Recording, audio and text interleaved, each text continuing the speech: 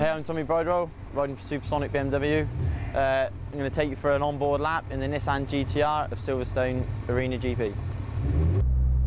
Yeah, obviously here down uh, down the start finish line. Um, it, it, it's quite a quite difficult. I know it sounds stupid, but out the last corner you run out quite wide, so it's quite difficult to get this first corner down into into Copses. It set up perfect. Um, the entry is is is quite blind. So you enter, you know, into fifth uh, on the BMW, coming back two gears, back to back to third. Um, you wait, wait, wait, quite out wide, out wide, out wide, and then you drop it in. Now it is it's known to be very bumpy here. So you, you've obviously got to be very careful, like you know, because if you're still trailing the brakes and hard on the brakes, you've got a good chance of tucking the front.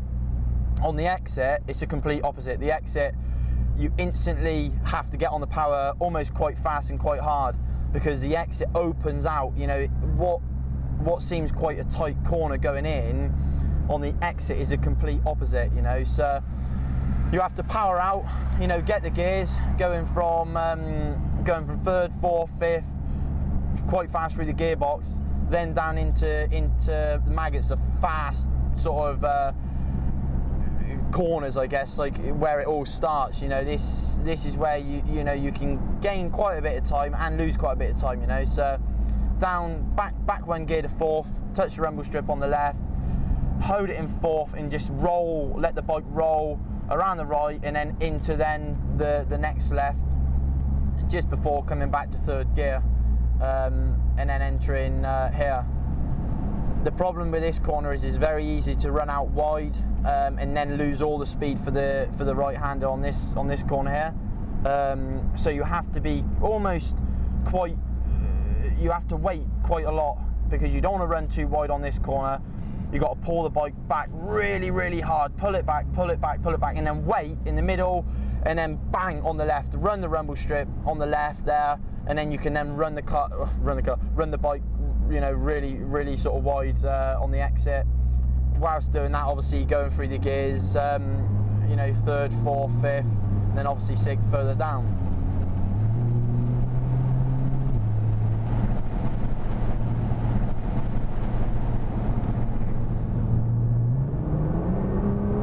Really?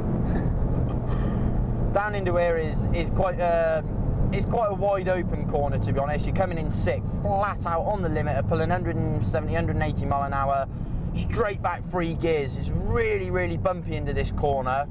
Um, and you got to get the entry perfect. You know, you can get outbraked in, and it's a massive overtaking opportunity into that corner. So you've got to be fast in, and you've got to be able to then enter online. Um, you, you, get it online, you apex, you run it, instantly touch the power, you run out wide to the rumble strip, on the BMW, you're coming out there third, fourth, short shifting, because obviously the track drops away from you. you uh, by short shifting, it allows you to keep the front wheel as low as possible instead of, you know, instead of wheeling. Back two gears into this um, into this sort of tight chicane here. Um, it's a pretty simple corner. Back two gears, back to second. It's just a start-stop chicane. You know, there's nothing there's nothing spectacular apart from in the centre, hitting third gear, and then running out. That this is where this is where it all starts. For instance, you know this is where you can can lose a second or gain a second. So you run it out wide on this double right hander, and you got to pull it back to the apex here. You got to be back on the apex because if not, if you're wide on that corner, you'll lose five mile an hour at least down this straight line. So that corner, that double right hander back there, it sets up this this straight uh, for, for the for the outright speed. Um, and then you're coming down here fifth gear, back one to fourth. And now this is this is obviously another massively fast part of the track. Coming back back to fourth, trail the brake in, and then you just got to let the brakes off and trust your bike, trust your, trust your setup, and trust your tyres. It's quite bumpy into there as, again as well, um, but you just got to let the bike roll, let the let the brakes off. It's not all about letting the brakes off and instantly getting on the power. It's about entering fast and just letting the brakes off, going from the right to the left, all in fourth gear, and then being nice and smooth. What might not feel very fast is actually quite fast, you know. So you've got to be smooth there, and you've got to you've got to let the bike do his almost do his own thing, um, and then back two gears for for this like really sort of tight, slow right hander. Another one where you don't you don't need to and don't want to run out wide there. Like you know, even though the track's wide, you don't want to run wide. You want to stay centre of the centre of the corner. A, a, short blast on the throttle, and then then back to the apex for here. This is like the uh, the, the last double right hander. You've got to make the first apex. If you don't make the first apex, you're instantly wide. You short shift third now, second third, run it out wide, and then wait. And you almost wait a real long time, and then pull it back then quite hard make the apex. It, it is crucial there again because if you don't make the apex, yet again, you'll then lose another five mile an hour down this straight. And obviously, when you add that up, it, it it's uh, it, it's Silverstone of all places. You know, you, if you're losing five mile an hour, five mile an hour in, in three points, that accumulates to half a second on track. So you've got to get those three exits are, are, are massively important around this around this Silverstone track.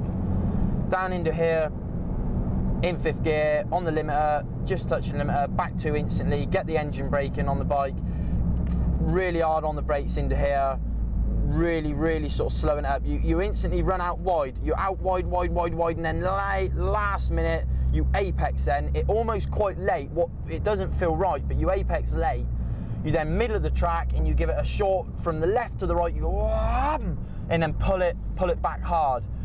Oh, I apex there really early and then instantly then run back out wide because even though it looks one corner, as a on a bike it's two corners. So you apex, run out wide, and then at the last minute you apex again, and then come come out and then power out hard out onto the onto the rumble strip here. Short shift, third, fourth, fifth, and then fifth, and then you really, really power hard into this last corner. And as you want the bike to turn, roll the power, let the bike turn in, and then bang hard on the power then. You know, this is not quite flat out fifth gear.